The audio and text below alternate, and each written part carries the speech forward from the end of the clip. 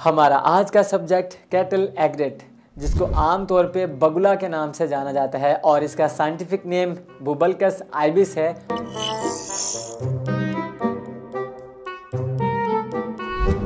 और ये एराडाइडी फैमिली से ताल्लुक़ रखता है।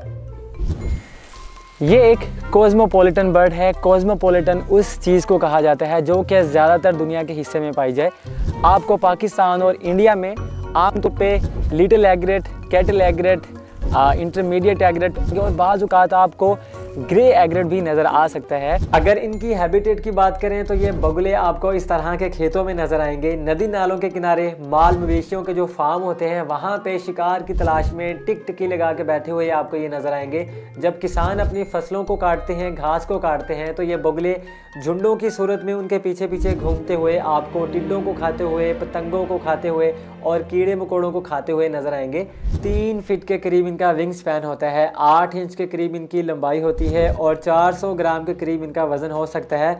अगर मेल और फीमेल के फ़र्क की बात करें तो देखने में दोनों सेम नज़र आते हैं, लेकिन मेल का साइज़ फीमेल के साइज़ की नस्बत थोड़ा सा बड़ा होता है। दूसरा फ़र्क ये कि जब इनका ब्रीडिंग सीज़न स्टार्ट होता है तो एडल्ट एग्रेट्स का ऊपर से प्लूमेज का कलर जो है, वो डल ऑरेंज कलर का होना शुरू हो जाता है। आपको इनका सर और गर्दन और थोड़ी सी बैग जो है, वो डल ऑरेंज कलर की नज़र आएगी।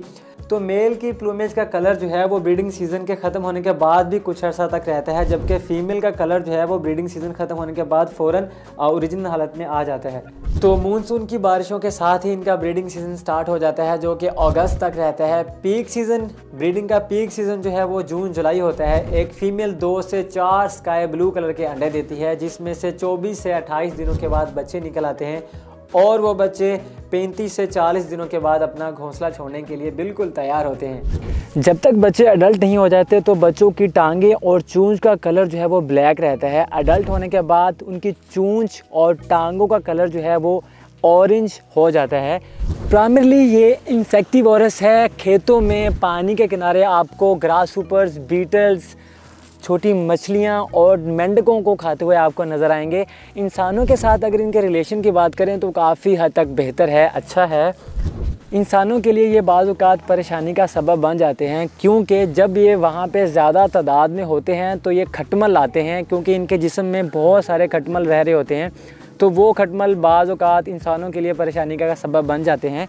लेकिन ये कमाल के पैरासाइट और पेस्ट किलर होते हैं पैरासाइट और पेस्ट की तादाद को कंट्रोल करने में अहम करदार अदा करते हैं। अगर इनके लाइफ टाइम, लाइफ स्पैन की बात करें, बहुत कमाल का होता है।